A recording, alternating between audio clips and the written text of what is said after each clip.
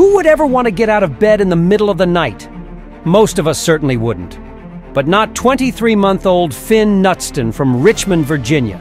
This toddler escapes from his crib every night and is found asleep on the floor next to his dog in the morning. Welcome to Amazing Truth Channel. Do not forget to subscribe and activate the bell button to receive all new. Now go to the story. For a long time, the boy's parents were confused as to what was causing their son to get out of bed every night.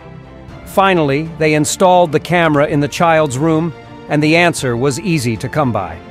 The footage captured on the video camera couldn't leave Finn's parents indifferent. The mystery was solved. The boy just does not want to separate with his friend, a four-year-old dog breed boxer named Brutus.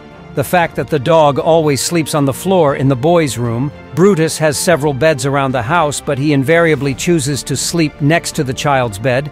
The boy's mother, Paige, says that at one time, Brutus would climb up to the baby himself, and it looked as if the dog was making sure that Finn wouldn't accidentally fall on the floor. And after a while, the baby started behaving in a similar way, namely, joining his pet. It turns out that the two do not want to separate even during sleep.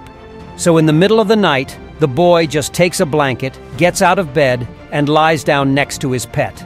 It doesn't matter whether the dog sleeps on the cot or the floor.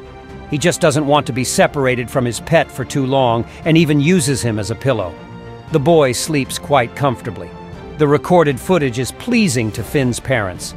The whole time while the child is trying to snuggle up next to his favorite four-legged friend, he remains absolutely calm, not paying any attention to the fuss because the main thing is that the baby is all right. Paige also reveals that Brutus has been by his side ever since the baby arrived, even when they weren't sleeping together. The dog has tried to be as close to the baby as possible, the fact is, when Paige was 20 weeks pregnant, doctors diagnosed her unborn child with a devastating heart disease. If they had known about the condition even a few days later, Finn might not have been born at all. The birth went well, but when the boy was 11 days old, his health took a turn for the worse. Fortunately, the baby made it through, but there were more challenges ahead for the family. After seven weeks, later the child suffered further health complications that led to several surgeries at once. And when after these challenges Finn was finally brought home, Brutus instantly felt that this baby needed extra protection and special care. Since then, the dog has tried to always be close to the baby, even while he was sleeping. The boy, in turn, feels this incredible care and also strives to be near his faithful and sensitive pet at all times. No surprise that every night Finn, in spite of his half-asleep condition, gets out of bed and settles down next to his four-legged protector.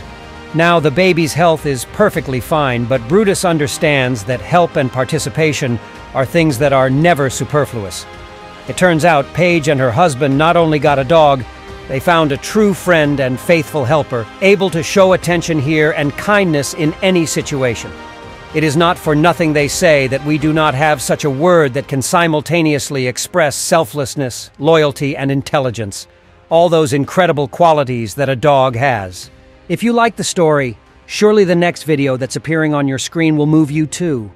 Don't forget to subscribe to the channel, give us a thumbs up, and activate the notification bell so you won't miss any of our next videos. A huge kiss, and see you in the next story.